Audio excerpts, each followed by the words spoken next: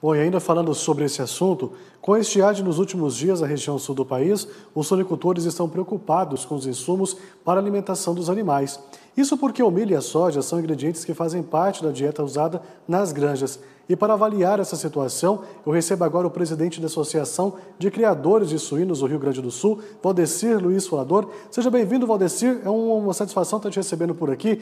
Infelizmente, numa situação um tanto quanto complicada, né? Porque eu acredito que para vocês também seja muito preocupante é, saber o que vai acontecer daqui para frente, porque a gente vê aí lavouras no Rio Grande do Sul, nós temos noticiado aqui nos últimos dias que os produtores já perderam até 60% de suas lavouras de milho, e o milho é um dos insumos aí diretamente ligados ligados à suinocultura. Existe de fato essa preocupação aí de vocês? Bem, Tiago, realmente a situação no Rio Grande do Sul, quando se refere à estiagem, ela é bastante severa. As lavouras de milho que nem tu coloca aí realmente já foram embora e é, mais de 60%, 70% eu acredito que já não tem mais condições de colheita nenhuma praticamente. É, e nós que vivemos aqui, olhando as lavouras é, ao vivo, vamos dizer assim, passando pelas lavouras nas nossas andanças, dá para ver que a situação é extremamente grave.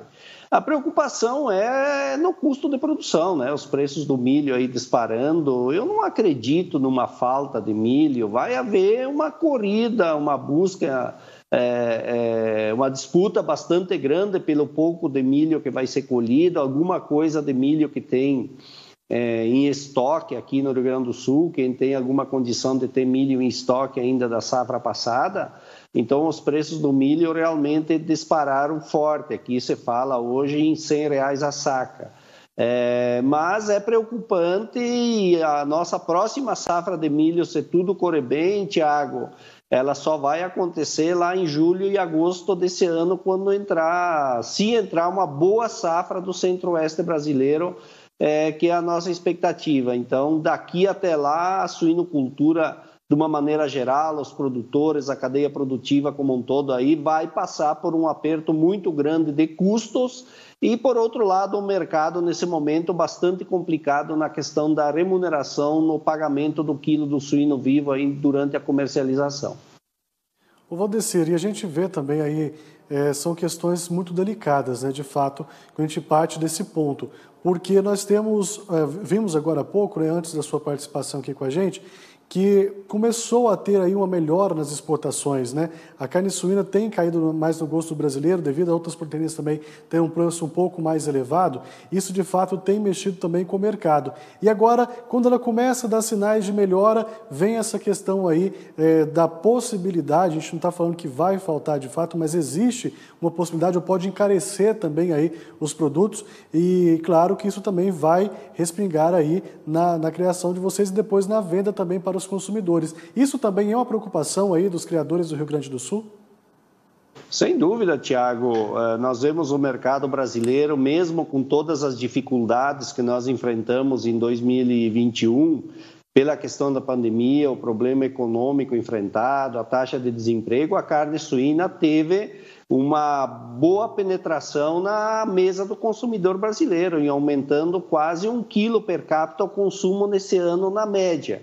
Então, nós devemos estar atingindo aí a marca dos 18 quilos per capita é, brasileiro ano de carne suína.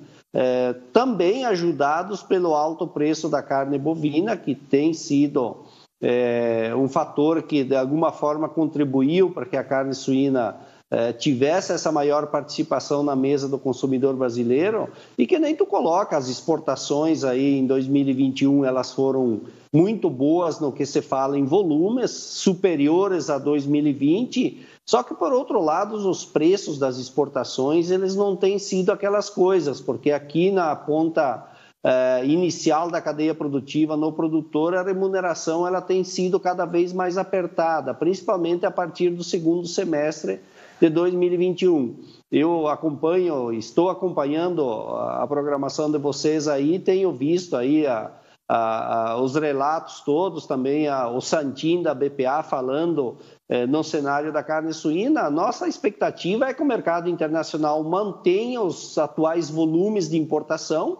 É necessário que nós exportemos esse volume em 2022 e até superior a isso por uma questão de crescimento da suinocultura brasileira. O nosso crescimento aqui deve passar aí de 5%, 6% é, no ano de 2021 e 2022 não deve ser diferente. Então, nós precisamos escoar essa produção e com essa estiagem, com esse problema climático aqui, o desafio do custo ele está aí e nós precisamos que a produção vá embora, mercado interno, mercado externo, enfim, para que a gente dê fluxo e possa aqui na ponta inicial o produtor ter uma condição daqui a pouco o mercado conseguir remunerar ao menos para chegar é, no custo de produção para que o produtor não seja tão penalizado nesse é, início de 2022 aí que nesse primeiro momento está bastante complicada a situação.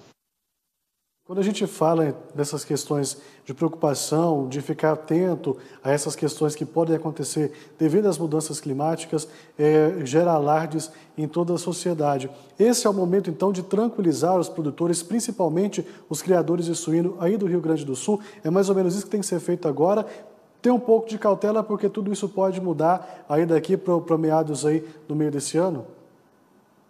É, Tiago, na verdade, o que a gente tem conversado, inclusive hoje pela manhã nós tivemos uma, uma, uma reunião é, com a Associação Brasileira de Criadores de Suínos, a ABCS, com todo o sistema, todas as entidades estaduais que fazem parte do sistema ABCS, e cada estado tem é, relatado a sua dificuldade. Então, o produtor está muito preocupado e o que a gente tem procurado colocar é, que o produtor tenha um pouco de cautela, um pouco de calma, faça tudo aquilo que é possível ele fazer da porteira para dentro, para segurar seus custos, ver o que mais ele pode ainda cortar em questão de, de custos e melhorar na situação de rentabilidade, de produtividade na sua granja, que é o que está na mão dele.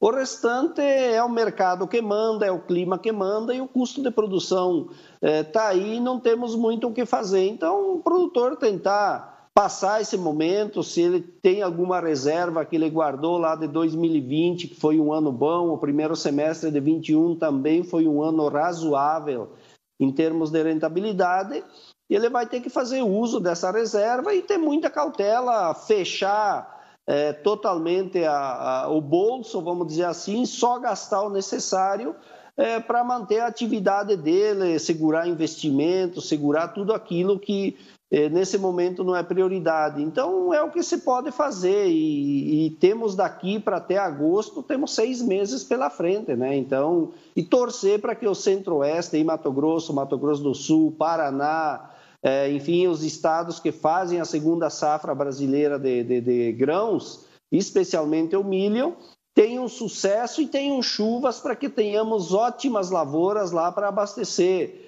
é, o sul do Brasil e o Brasil de uma maneira geral aí com abundância de milho é, a preços compatíveis. Não vamos aqui dizer que o preço do milho vai cair é, drasticamente, mas que tenhamos uma boa oferta de milho, ao menos a partir do mês de julho e agosto desse ano, para é, sustentar os setores da proteína animal.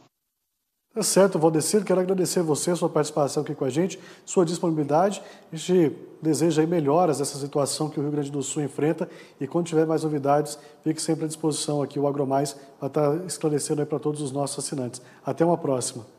Eu estou sempre à disposição, um abraço a todos.